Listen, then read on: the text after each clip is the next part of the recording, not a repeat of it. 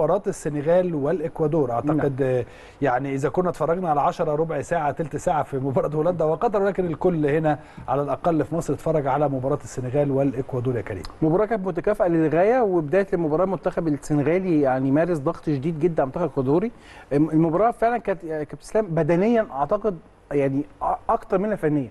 المباراه كانت بدنية شديدة جدا والاثنين على مستوى الأجساد أقوياء قوية جدا, جدا. وال- يعني حقيقي. التدخلات الثنائية ما تضمنش مين يكسب ومين يخسر. بس أنا في وجهة نظري فعلا كان واضح إن كل منتخب بيلعب على غلطة للتاني. كل واحد مستني غلطة للتاني. الشوط الأول شوط يعني بعد البداية القوية بشوف إن الشوط السنغال، الأول للسنغال أفضل شوط آه. عمله المنتخب آه، السنغالي حلو. فترة جدا. الثلاث ماتشات دول. جد عملوا شوط أول ممتاز. حتى من تلات- المنتخب ما ثلاث فرص كان ممكن لو خلصوهم لا، الثلاثه في الشوط الأول الموضوع خلص. لا وكمان هم خضوا المنتخب الإكوادوري اللي كان معودني في الماتشات اللي فاتت كان بيخش مباراة بشكل قوي. المباراة دي دخل. عارف يا كابتن برضه كان المنتخب الإكوادوري داخل فرصتين بس داخل فرصتين آه. واللي بيخش آه. فرصتين بيقعد بيقعد يحسب. فاهم قصدي؟ اهاجم لا ما هاجمش. آمن. ده كمان ده يا جماعة بيقولوا لنا هولندا متقدمة فكده خلاص شكرا الصادره لهولندا. يبقى إحنا لو تعادلنا هناخد تاني. فطبعا غلطة الشوط الأول في ركلة الجزاء اللي آه، إسماعيل صحيحة طبعا 100%. طبعا صحيح صحيح 100% آه. بس جت يعني توفيق كبير قوي صحيح. المنتخب السنغالي صحيح. إنه يخش أوضة اللبس وهو.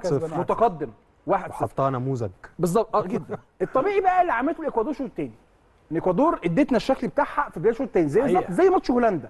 نزلوا في ماتش هولندا أول ثلث ساعة في الشوط الثاني زنقوا المنتخب الهولندي زنقة قوية جدا. والنهاردة برضه عملوا نفس الامر مع السنغال. ووصل للتعادل. بس التوفيق برضه كاريدو كوليبالي في وجهة نظري الهدف الثاني السنغال. يعني الكرة دي لو اتعدت 20 مرة مش هتخش. عمرها ما تخبط. في المدافع بتاع الخبط ده وتوصل له متقشره عشان هو يحطها في الجون. يعني وضع طبعا التوفيق من ربنا سبحانه وتعالى. وطبعا لما تقول لمنتخب السنغال بقى العب زون ديفense شكرا. شكرا. خلاص الموضوع يبقى صعب. خلاص منتخب السنغال منتخب قوي وبيعرف إزاي يتخلص من الكرات العرضية. بيعرف يقفل لك العمق وبالتالي قدروا إن هم يحافظوا على ال- النتيجه وطبعا تأهل مستحق وأحيي بصراحة اليو سيسي يا كابتن اسلام ليه؟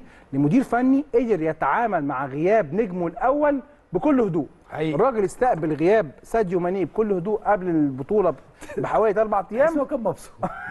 والله العظيم بحس كده؟ يلا. ماشي. هن- هنلعب في هدوء. آه تحس إن آه والله تحس إن هو ما يعني إن الناس مش هتركز معاهم قوي لأن آه الإعلام مش هيركز حاجة معاهم. ما تفهمش يعني. أنا حسيته إن هو بيقود الفرقة بشكل أفضل كتير جدا جدا, جدا. من وجود السنغال تكتيكيا في يعني. الثلاث مباريات. وبين كده بصراحه نتائجها فعلا منطقية. هو خسر المباراه المنطقيه من هولندا ما. حدش ما حدش على الرغم إن هو لم يكن المفروض ما كانش يخسرها. يعني وخد ست نقاط من المنافسين التانيين اللي معاه فمبروك للمنتخب السنغالي طيب.